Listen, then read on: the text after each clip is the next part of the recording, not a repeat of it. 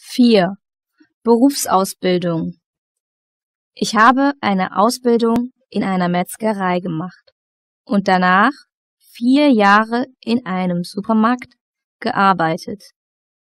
Dann konnte ich meine Meisterprüfung machen.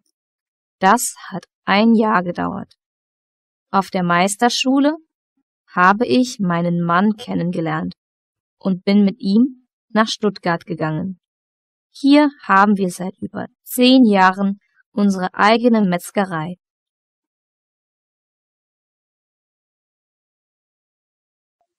Vier Berufsausbildung Ich habe eine kaufmännische Lehre im Geschäft von meinen Eltern gemacht. Wir haben schon seit drei Generationen einen Familienbetrieb. Mein Vater hat mich ausgebildet und danach habe ich das Geschäft übernommen.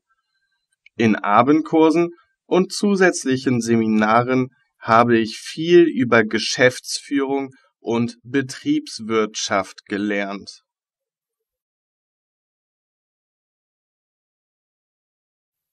Nach der Schule habe ich keine Lehrstelle bekommen. Ich wollte Mechatroniker oder Schlosser werden.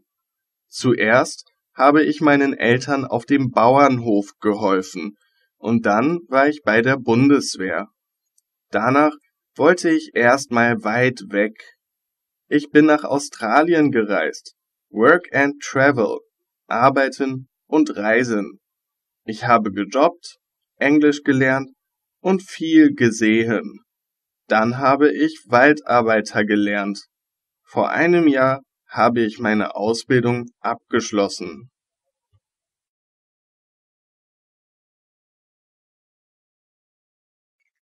Mit 17 Jahren war ich schwanger und habe deshalb geheiratet. Ich habe mein Abitur später am Abendgymnasium gemacht und dann Medizin studiert. Mein Mann hat in dieser Zeit den ganzen Haushalt organisiert. Ein Jahr ist er bei unserer Tochter zu Hause geblieben. Jetzt haben wir es geschafft.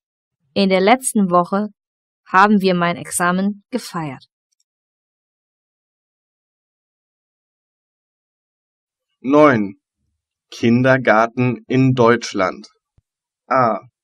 Wir über uns.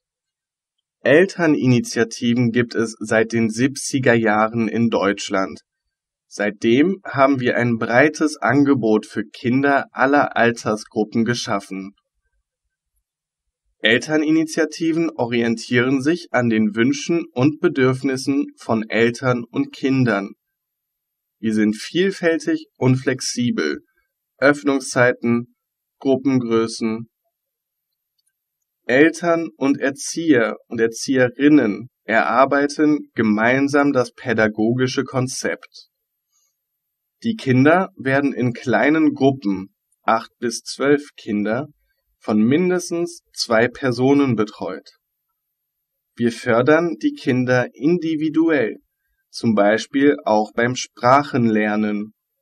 Wir haben Plätze für Kinder von eins bis sechs Jahren und für Schulkinder. In Gruppen mit Kindern von zweieinhalb bis sechs Jahren lernen die Kinder auch voneinander. Geschwister von Kindern, die bereits in der Initiative sind, nehmen wir bevorzugt auf.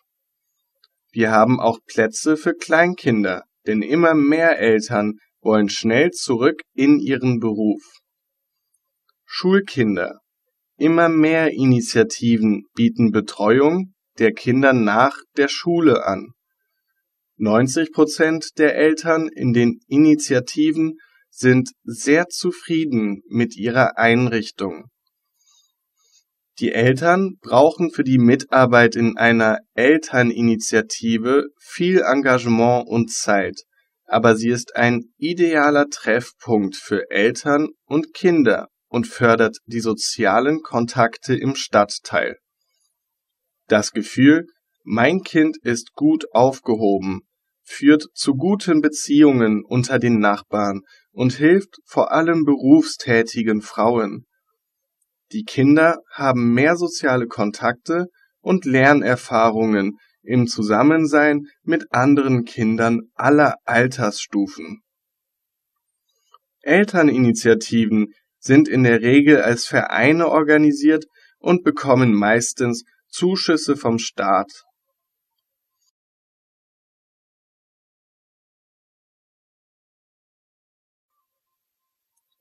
B. Seit 1996 haben Eltern in Deutschland das Recht auf einen Halbtagskindergartenplatz für Kinder ab drei Jahren, bis sie in die Schule gehen. Für jüngere und ältere Kinder gibt es Plätze nach Bedarf. Dieser Rechtsanspruch ist aber von Bundesland zu Bundesland sehr verschieden. In einigen Bundesländern haben die Kinder nur einen Anspruch, wenn ihre Eltern berufstätig sind, und oft wird nicht garantiert, dass der Kindergartenplatz in der Nähe vom Wohnort ist. Auch die Preise sind von Bundesland zu Bundesland sehr unterschiedlich.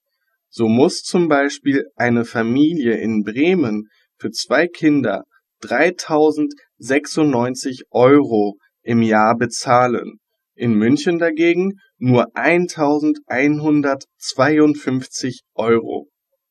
In Lübeck kostet ein Kindergartenplatz sogar 1692 Euro pro Jahr für ein Kind. Viele Städte geben Ermäßigung, wenn eine Familie zwei Kinder im Kindergarten hat, andere nicht. In den meisten Städten und Gemeinden sind Kindergartenbeiträge vom Einkommen der Eltern abhängig, aber nicht in allen. In Berlin, Hessen, Niedersachsen, Rheinland-Pfalz und im Saarland ist das letzte Kindergartenjahr kostenlos. Diese Unterschiede behindern die Chancengleichheit unter Deutschlands Kindern. Deshalb fordern Eltern und Erzieher dass der Halbtagskindergarten ab dem dritten Lebensjahr in ganz Deutschland kostenlos sein muss. Je früher ein Kind im Kindergarten gefördert wird, desto besser sind seine Chancen im Leben. Das darf nicht an den Kosten für einen Kindergartenplatz scheitern.